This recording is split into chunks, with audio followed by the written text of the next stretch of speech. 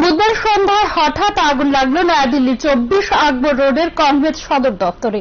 খবর পেয়ে দ্রুত ঘটনাস্থলে পৌঁছায় দমকলের একাধিক ইঞ্জিন।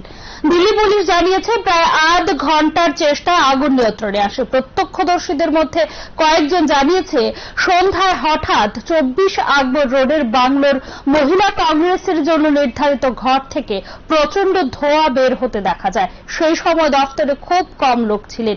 কয়েকজন ধোঁয়ার উৎস খুঁজতে গিয়ে আগুনের শেখা দেখতে পান। এরপরেই দমকল এবং পুলিশকে খবর দেওয়া হয়। কংগ্রেস সূত্রে খবর, আগুনে মহিলা কংগ্রেস দফতরের কিছু আসবাব এবং নথিপত্র ভস্মীভূত হয়ে গিয়েছে।